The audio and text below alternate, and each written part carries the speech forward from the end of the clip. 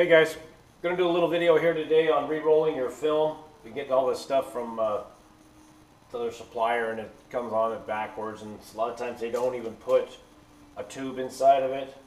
Um, makes it really tight when you get to the end. So what I do is I find a larger piece of tube to go on the one inch PVC, maybe an inch and a quarter. I think this foot fits on the inside diameter. It might be an inch and a half, but it's electrical tubing. And I just cut a piece of that off.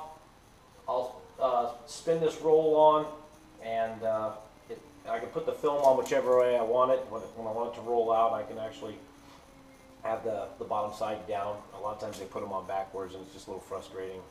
Anyway, uh, we'll do a little time uh, lapse here, try this out. What I'm going to do with this roll here is I'm just going to set it down off the table on a chair, the arms of the chair will hold it in place for me. Then I can uh, just keep on going until it's completely done. Anyway, get right back with you.